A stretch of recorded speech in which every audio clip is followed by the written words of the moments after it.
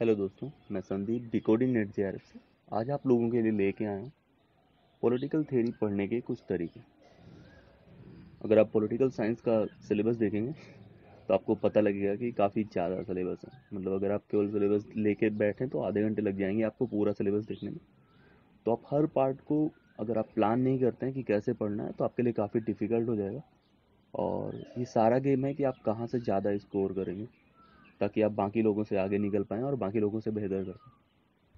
दोस्तों, हमें से ज़्यादातर लोगों को पॉलिटिकल थेरी पढ़ते हुए थोड़ी दिक्कत होती है। क्योंकि पॉलिटिकल थेरी कॉन्सेप्ट्स हैं और उनको रिलेट करना, फिर समझना, फिर आपस में जो डिबेट्स हो रही है उनको समझना थोड़ा डिफ़िकल्ट होता है।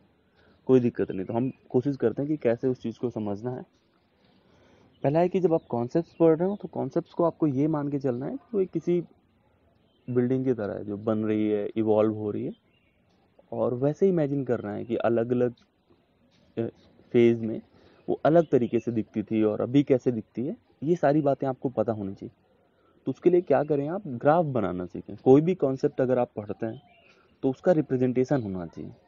ईयर वाइज भी, जैसे कोई भी आपने कॉन्सेप्ट उठा लिया लिबर्टी उठा लिया तो आप ग्रीक टाइम से देखना शुरू करें, फिर मेडिवल में आए, फिर आप जॉन लॉक पे आते हैं, फिर जे पे आते हैं तो ऐसे एक बनाए कि किसने क्या बोला है राइटर लिखें और उसने क्या उसका जो ओपिनियन है, उसको एक लाइन दो लाइन में लिख के ग्राफ बनाए, एक ही पेज में पूरा का पूरा कॉन्सेप्ट का बना लें।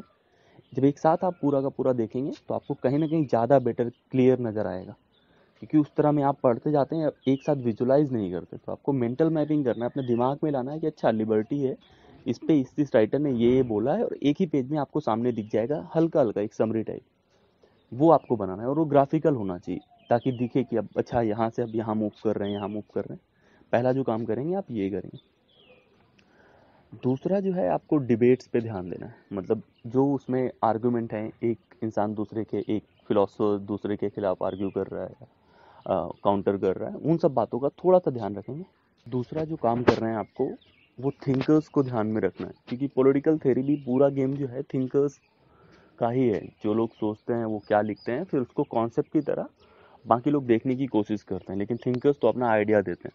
तो थिंकर्स को फोकस में रख के आपको देखना है, और थिंकर्स कैसे पढ़ना है वो नेक्स्ट वीडियो में मैं आपको बता दूँगा कि थिंकर्स को कैसे पढ़ना है, ताकि आप ज़्यादा बेहतर स्कोर कर पाएँ।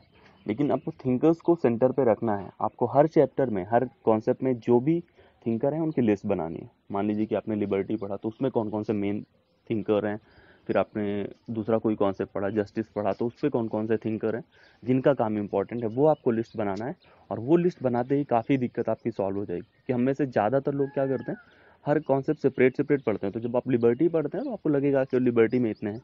लेकिन बहुत सारे थिंकर्स होते हैं जो लिबर्टी पे भी बोलते हैं, वो जाके जस्टिस पे भी बोलेंगे, आगे कहीं बोलेंगे। तो जब आप पूरा पढ़ लेते हैं तो फिर उसके बाद दस दिन बाद आपको लगेगा ये इसने इसमें बोला है कि उस पर बोला है। फिर वो वाली जो दिक्कत आती है, उसके लिए क्या करना है आपको? एक पेज बनाना है। जिसमें आप सिर्फ़ राइटर्स के नाम लिखेंगे। आप कॉन्सेप्ट लिखेंगे सामने, पहला नंबर का कॉन्सेप्ट है लिबर्टी उस पर जो जो मेन मेन राइटर हैं, आठ दस, उनका नाम लिख लेना है। उनके सामने अगर जगह है, आप काफ़ी छोटा लिखते हैं तो आप उसके सामने लिख लें, ये आइडिया इनका है, ये आइडिया इनका है। उसी के नीचे जस्ट बगल में, फिर आप इक्वालिटी पे आएँ, उस पर जो जो राइटर्स हैं, उनका नाम लिखें, फिर जस्टिस पे आए तो एक ही पेज में सारा होगा ना तो आपका जो एक बार में ही आप सारों को देख लेंगे, सबको देख लेंगे। तो आपका जो कन्फ्यूज़न वाला पार्ट है, वो ख़त्म हो जाएगा। और वो इंपॉर्टेंट है, क्योंकि ये एग्ज़ाम जो है मल्टीपल चॉइस है तो आपको अगर कन्फ्यूज़न है तो बाद में आपसे गलत होने की पॉसिबिलिटीज़ बढ़ जाती हैं। तो आपको वो ख़त्म करने के लिए सबको एक साथ देखना है और कोशिश करना है कि तब आप बेहतर समझ पाएँ उनको रखना है उनको। बार बार देखना है रिवाइज करना है अच्छा ये इसमें से है और वो पेज लेके जब आप याद करने की कोशिश करेंगे उन थिंकर्स को, उनके आइडियाज़ को तो ज़्यादा बेहतर आपको याद होगा। जो दो तीन डिबेट इंपॉर्टेंट है, एक उनमें से है डिक्लाइन ऑफ़ पॉलिटिकल थेरी और दूसरा है इंड ऑफ़ आइडियोलॉजी ये दोनों डिबेट्स में कौन कौन से थिंकर्स पार्टिसिपेट कर रहे हैं? एक ग्राफ बनाना है कि डिबेट के दोनों साइड कौन सा उस साइड से कौन है जो बोल रहा है कि डिक्लाइन ऑफ़ पॉलिटिकल थेरी हो रहा है, कौन बोल रहा है कि नहीं हो रहा है, ये दोनों याद रखना है। और इस पर किसने किसने क्या क्या कॉन्सेप्ट दिया है? कुछ लोग बोलेंगे, इसलिए डिक्लाइन हो रहा है। कुछ लोग बोलेंगे, इसलिए डिक्लाइन हो रहा है। वो लिखना है आपको। और कौन, जो काउंटर कर रहा है ना, वो भी बोलेगा कि नहीं, इसलिए नहीं हो रहा है। तो वो भी आपको नोट करना है। डिटेल से मैं धीरे धीरे जो नेक्स्ट स्लाइड आएँगी धीरे धीरे करके मैं बताऊँगा, लेकिन तब तक आप पढ़ने के लिए ये चीज़ें पढ़ें।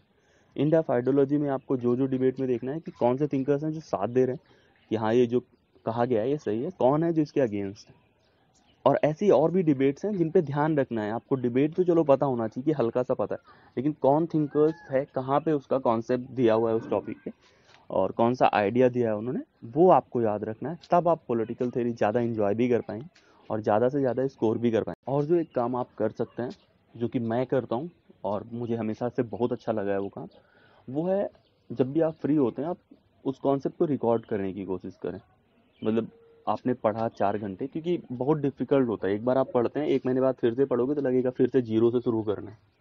तो पहला जो भी बुक आप पढ़ रहे हो, उसके साइड में नोट करने का कोशिश करें, ताकि आपको दोबारा पूरा पैराग्राफ ना पढ़ना पड़े, वो आप लाइन बगल में देख लें और आपको पूरा पैराग्राफ का मतलब पता चल जाए। एक तरीका ये है, दूसरा है आपको रिकॉर्ड करना चाहिए। मतलब अगर आप पढ़ लेते हैं, पचास पेज, बीस पेज पढ़ते हैं और आपको लगता है कि दोबारा जब एक महीने बाद आप पढ़ेंगे तो आपको कुछ भी याद नहीं रहेगा तो आप जब बीस पेज पढ़ें तो एक घंटे के अंदर ही वो रिकॉर्ड करें अपनी लैंग्वेज में। उठ के, खड़े होकर याद करते हुए कि अच्छा ये मैंने पढ़ा, इसमें इन्होंने ये कहा, ऐसे कहा और ये करते हुए, और वो रिकॉर्डिंग आप कभी भी सुन लेते हैं। जब आप सुनेंगे तो आपको ज़्यादा क्लियर समझ में आता है और ज़्यादा बेटर आपकी अंडरस्टैंडिंग होती है क्योंकि आप दूसरे तरीके से उसको समझने की कोशिश कर रहे हैं। ये सारे बेसिक काम आपको करने हैं और मुझे एकदम